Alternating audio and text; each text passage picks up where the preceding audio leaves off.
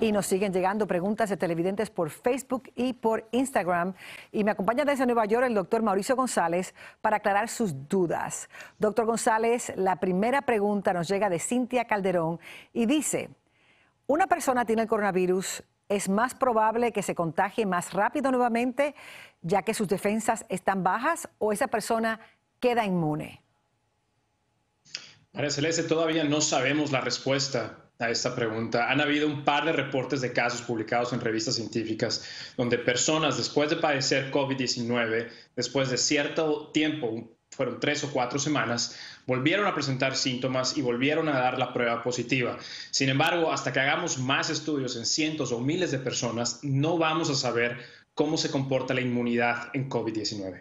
La segunda pregunta es de María Santiago y dice lo siguiente. Saludos desde Carolina del Norte. Aunque no tengo síntomas del coronavirus, llevo días sintiendo la garganta contraída. Es algo poco usual en mí. Por lo general, cuando me da ardor en la garganta, me agarra el oído y eso me revienta en un catarro. Pero esta vez es algo diferente y soy supervisora del servicio al cliente de una cadena de supermercados. O sea, le preocupa y se pregunta si debe hacerse la prueba.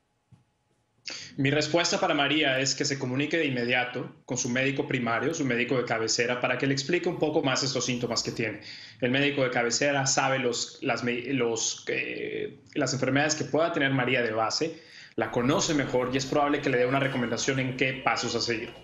Bueno, y Maura Olivera nos dice lo siguiente, me dice, me tiene preocupada, ¿se puede saber la secuela que puede dejar cuando uno se enferma del coronavirus?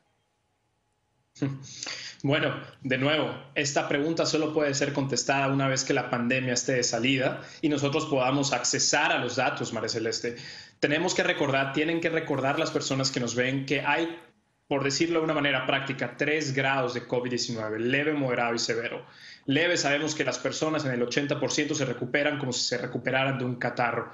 Sin embargo, hay personas que presentan una enfermedad moderada o severa, severa aquellos que acaban en terapia intensiva, intubados, en ventilador. Esas personas todavía no sabemos a ciencia exacta qué pasa con ellos a largo plazo. Sin duda, y sabemos que de esas personas graves también hay algunas que, pueden terminar con eh, pues, eh, función pulmonar disminuida, lo cual pues es algo que le queda para toda la vida. Gracias, doctor González. Y el coronavirus ataca a las personas de diferentes maneras según su estado de salud.